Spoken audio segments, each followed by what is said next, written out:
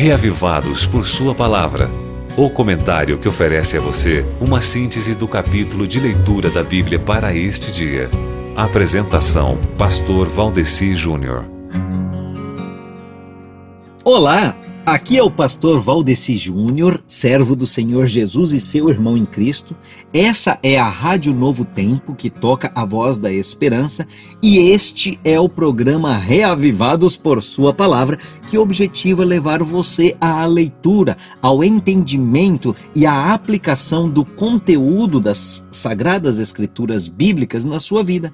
Pode ser que você esteja ouvindo esse áudio fora da Rádio Novo Tempo e tá tudo ótimo, mas se esse for o caso, eu incentivo você a instalar o aplicativo da Rádio Novo Tempo no seu celular e a passar a ser um ouvinte da Rádio Novo Tempo, tá certo? Olha só, a nossa leitura bíblica de hoje tem um lamento por Tiro Comentaristas cristãos, desde o início, viram naquela descrição do rei de Tiro uma descrição velada de Lúcifer.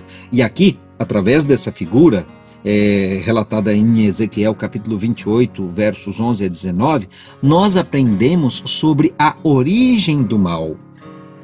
Veja bem, amigo ouvinte, se Deus é eterno, conforme nos relata o Salmo 45, verso 6, na versão Almeida Revista e Corrigida, e também você pode ver Salmo 90, verso 2. Se Deus é eterno, e se pela fé entendemos que o universo foi formado pela palavra de Deus, como está em Hebreus capítulo 11, verso 2, compreendemos que houve um tempo em que existia somente a família celeste em perfeita harmonia e amor havia um poderoso anjo a quem chamamos de Lúcifer.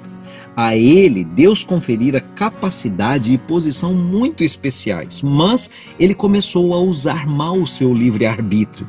Por possuir tão alta glória e posição sobre os outros anjos, ele se achava melhor que eles e foi expulso o grande dragão, Satanás, o sedutor de todo o mundo, atirado para a terra e com ele os seus anjos, como está escrito em Apocalipse capítulo 12, versos 4 e 7 a 9.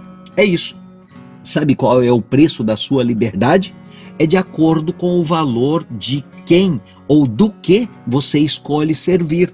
Assim é o desfecho desta batalha universal, meu querido amigo ouvinte. Satanás tentando provar que servir a Deus não é bom e Deus tentando conquistar suas criaturas ao melhor caminho, que é servi-lo. A guerra consiste em conquistar a nossa escolha individual, você me entende? Mas no trono do viver só pode haver um Senhor. A quem você entregará a sua vontade? E é aí que eu lhe pergunto: quanto vale a sua liberdade?